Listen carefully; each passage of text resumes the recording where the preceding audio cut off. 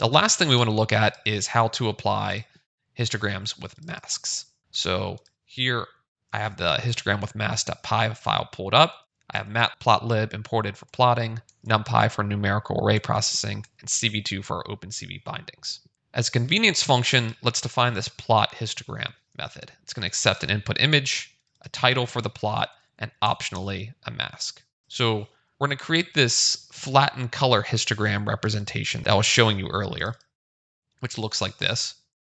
And we're going to do that for a masked specific region of the input image. So this color histograms here, they were computed over the entirety of this image.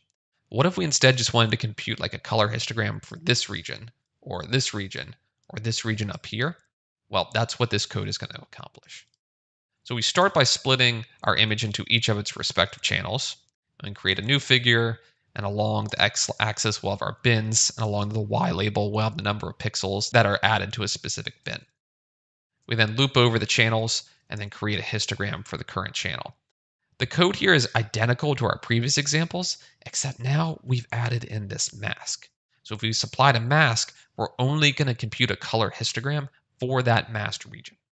So let's load our beach image from disk, and we'll plot a color histogram for the original input image, and we'll display that to our screen. Now, let's create a mask. A mask, as you know, is a binary image with background pixels set to black and foreground pixels set to white. So for any pixel input in this mask region that has a white foreground, that means we want to include those pixels in our color histogram computation. If it has a black, meaning background, we don't want to include those pixels in the color histogram.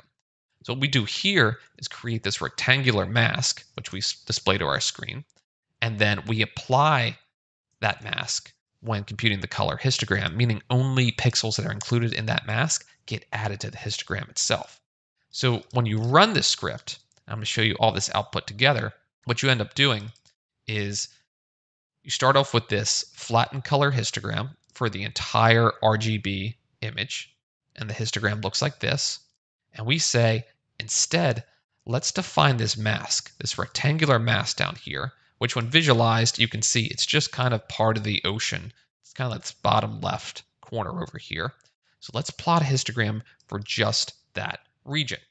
And when you do that, you're going to get wildly different histograms. So here is the color histogram for the original input image, which you see right here. And then here's the histogram for the masked region, which is this area.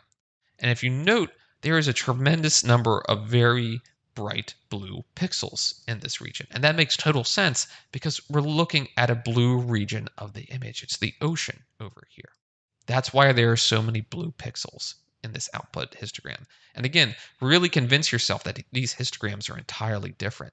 This histogram resulted by computing the, the RGB histograms for this entire image. Every single pixel in the input image was included in the computation. This one, on the other hand, only came from this specific masked region. So again, if you were building this fashion search engine that I was telling you about, you would want to segment the clothing from the image first and then compute the color histogram for just the clothing itself. You don't care about the background, you don't care about the skin color, you don't care about the hair color or anything else. You just want the clothing itself included in the computation. So I hope that serves as a really good introduction to histograms for you. Get some practice applying them. Again, you'll see histograms just substantially throughout computer vision and image processing. So gain that experience now. It'll help you out tremendously later on. I'll see you later.